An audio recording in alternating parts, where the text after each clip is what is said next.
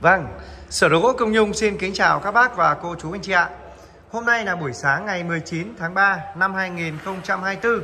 Xưởng Đồ gỗ Công Nhung xin trân trọng giới thiệu đến với các bác và cô chú anh chị một loạt bàn ghế rổi chun hàng mộc mới phun qua một lượt nót đầu tiên có dáng đào tiên, dáng nghê bảo đỉnh. Sau đây Sở Đồ gỗ Công Nhung sẽ giới thiệu sâu sát chi tiết một số bộ điển hình. Kính mời các bác và cô chú anh chị cùng bớt chút thời gian để tham quan sản phẩm. Ghế rổi chun thì đồ gỗ công nhung có rất nhiều cỡ. Tay 12, tay 14, tay 16, tay 18 Dáng đào tiên. À, Tay quấn, chân móc Dáng nghê bảo đỉnh.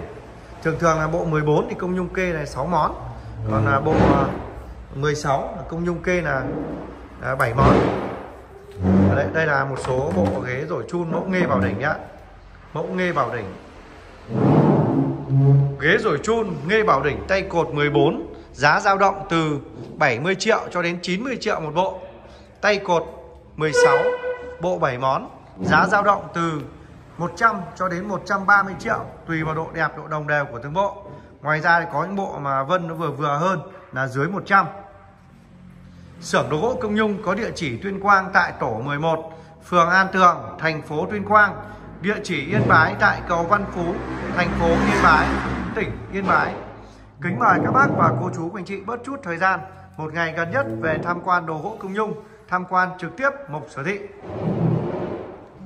Sau khi các bác và cô chú anh chị đến tham quan, ưng ý sản phẩm nào, mình sẽ lựa chọn tất cả chi tiết phần mộc. Sau đó đồ gỗ công nhung sẽ hoàn thiện để bàn giao trực tiếp cho các bác và cô chú anh chị trên mọi miền tổ quốc. Ngoài ra thì các bác và cô chú anh chị mà bạn không đến được, mình sẽ kết nối gọi video qua Zalo, qua Facebook sau đó đồ gỗ công nhung sẽ hoàn thiện để bán giao cho các bác và cô chú anh chị tận nhà.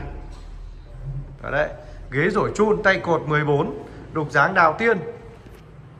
Giá dao động từ 40 triệu cho đến 55 triệu một bộ. À, tay cột 12 là nhỏ nhất là dao động từ 30 triệu cho đến 38 triệu một bộ.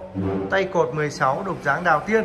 Giá dao động từ 60 triệu cho đến 75 triệu một bộ. Là phân khúc đẹp.